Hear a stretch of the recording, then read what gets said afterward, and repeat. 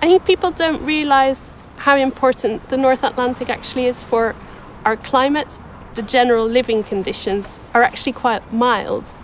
So if things change, we need to know that so people can adjust their life. Well, if you look at the northern hemisphere and the polar and subpolar latitudes, about 90% of the people living there, they live in Europe and in Russia.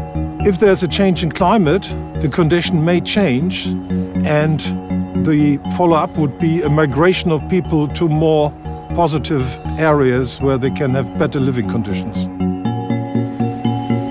The oceans play a big role in controlling global climate by distributing heat around the planet. An important region for this is the North Atlantic Ocean. Ocean currents from the tropics bring warm salty water northwards into the Arctic. Here the warm water cools down and sinks in the deep ocean.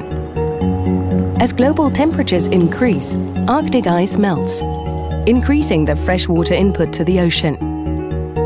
This lowers the overall density of the Arctic surface ocean waters, which may slow down or even stop deep water formation.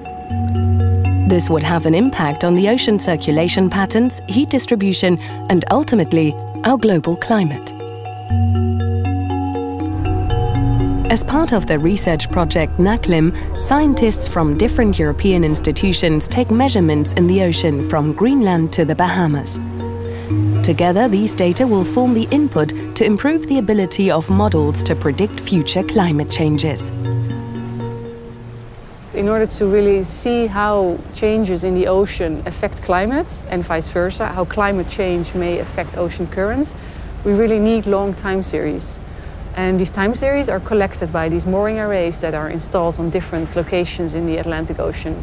The moorings are about two and a half kilometer to one kilometer long, held down at the bottom with a heavy weight. And then it's a long cable with, at several designated depths, we have instrumentation that's measuring temperature, salinity, and velocities. So they're typically out for one year. And then the next year we come back and we collect the moorings and collect the instruments. The instruments we uh, retrieve the data from and we service the instruments, uh, replace the batteries and so on, and make sure that they can function again for another year.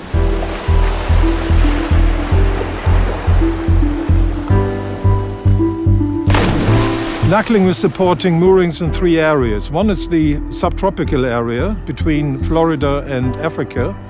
One is the subpolar uh, North Atlantic, mainly in the western region. And most importantly, or we concentrate on that, is the Greenland Scotland Ridge, the boundary between the Arctic Ocean proper and the North Atlantic. In the North Atlantic, there's a ridge which runs between Greenland and Scotland, so it's like an, an underwater obstacle. And there's a few gaps in there. So, at these gaps, that's where the water crosses from the Atlantic into the Nordic seas, and that gives us a really good location where the transport is confined. We see changes in the transport, we see changes on seasonal timescales, we see changes on um, interannual timescales, so differences from year to year, and it's how how does what, what causes those differences. I only have one piece, but I want to see what the entire puzzle looks like. This is a system that goes through the whole of the Atlantic. We call it the Atlantic Meridional Overturning Circulation. And it, this stretches all the way from the South Atlantic all the way up to the high nor- northern latitudes up by Greenland and in the Arctic Basin. A lot of the other partners in NACLIM are measuring small flows across crucial areas of the ocean, whereas what we measure is the full of the basin wide all the way across the Atlantic. So we get kind of an integrated measure for the, the overturning circulation there. We have, in a number of projects funded by the European Commission and by national funding agencies, monitored the circulation in the North Atlantic for the past 20 years.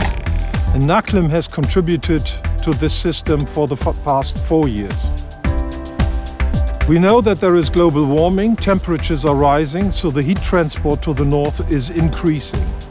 On the other hand, our monitoring moorings have shown that the circulation is very stable over these 20 years. So there's no change in the transports, there's only change in the heat content and the temperature. So the warming continues and there will be more warm water going to the north.